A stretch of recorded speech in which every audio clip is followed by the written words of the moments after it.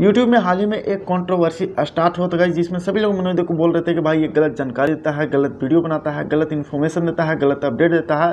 तो क्या सच में मनोज गलत जानकारी देते हैं, गलत अपडेट देते हैं? आज की वीडियो में आप लोग को लाइव प्रूफ के साथ दिखाने वाला हूँ। सबसे पहले आप लोग इस क्लिप को देखो। यूट्यूब पे अभी एक बहुत बड़ा अपडेट आया है और अपडेट ये है कि यूट्यूब पे एक नया फीचर ऐड होने जा रहा है। और ये फीचर पता है कितने सब्सक्राइबर पर मिल जाएगा? इसका क्राइटेरिया क्या है? ओनली 50 सब्सक्राइबर अगर आपका 50 सब्सक्राइबर्स है तो आपको ये वाला फीचर मिल जाएगा और ये फीचर इतना अच्छा फीचर है कि इस फीचर को यूज़ करके आप अपने चैनल को ग्रो कर सकते हो। आपका चैनल जल्दी ग्रो होगा, आपका चैनल बूस्ट होगा।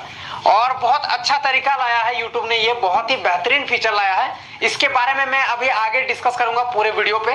वीडियो को दोस्तों आप लोग एंड तक देखना। चैनल पर नए हो तो सब्सक्राइब करके बेल आइकन को प्रेस कर लेना। चलिए आज किस वीडियो को शुरू करते हैं। तो दोस्तों यूट्यूब का जो ये नया फीचर है, इसका नाम है गो लाइव टूगेदर तो देख लीजिएगा इस आप लोग इस क्लिप को मनोज दे, इस क्लिप में यही बता रहे हैं कि भाई आप लोग को सिर्फ़ पचास सब्सक्राइबर्स में गो लाइव टुगेदर का ऑप्शन मिलने वाला है। बट मैं आप लोग को बता दूँगा इसकी ये जानकारी बिल्कुल भी गलत है, क्योंकि आप लोग के चैनल पे ज़ीरो सब्सक्राइबर्स तो भी आप इसको इनेबल कर सकते हो और यूट्यूब इसका फीचर दे रहा है। सबसे पहले मैं आप लोग को प्रूफ दिखाता हूँ, यहाँ से मैं अपना यूट्यूब ओपन करता हूँ। उसके बाद यहाँ पे देखना किस तरह से हमारे पास इनेबल हो चुका है। यहाँ पे पहले सब्सक्राइबर्स देख लो, यहाँ पे सिर्फ़ दो सब्सक्राइबर्स का इस यहाँ पे देख लो। उसके बाद यहाँ से देखना आप बैक करता हूँ मतलब सॉरी प्लस वाला पर। देख सकते हो यहाँ पे गो लाइव टुगेदर का ऑप्शन यहाँ पे इनेबल हो चुका है। ये रियल है इसको एडिटिंग नहीं है। अब यहाँ पे आप लोग खुद बताओगे इसकी क्या सच में दे गलत जानकारी देते हैं या फिर नहीं देते हैं। मुझे तो ये लगता है कि यूट्यूब में जो अपडेट आता है ना, उसको सही से इनको रियलाइज़ नहीं करते हैं या फिर जानबूझ के सही व्यूज़ के चक्कर में वो जल्दबाजी में वीडियो बना देते हैं।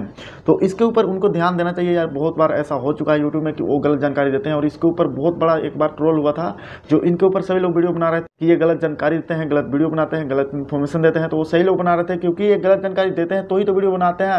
तो इनको थोड़ा ध्यान देने की ज़रूरत है, इस वीडियो से मुझे हेट पहुँचाने का बिल्कुल भी मतलब नहीं है। बस आप लोग कमेंट बॉक्स में बताइएगा क्या मनोज सच में गलत जानकारी देते हैं या फिर नहीं देते हैं।